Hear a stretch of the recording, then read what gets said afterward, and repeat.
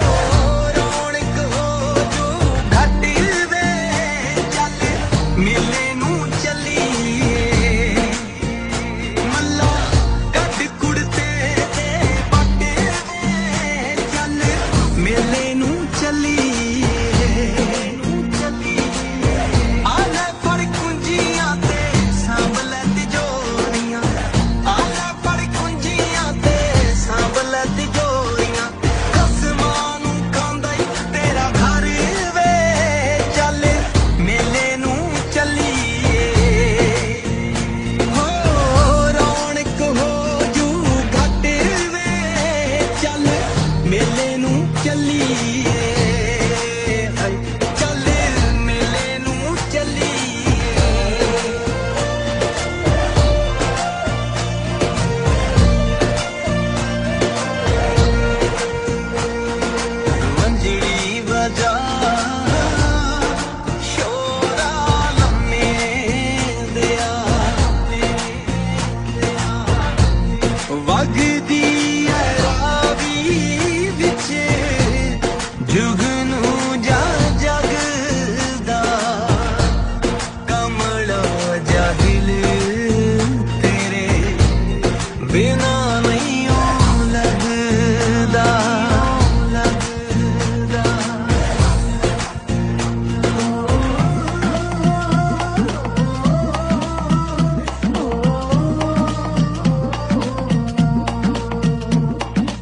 அஞ்சலி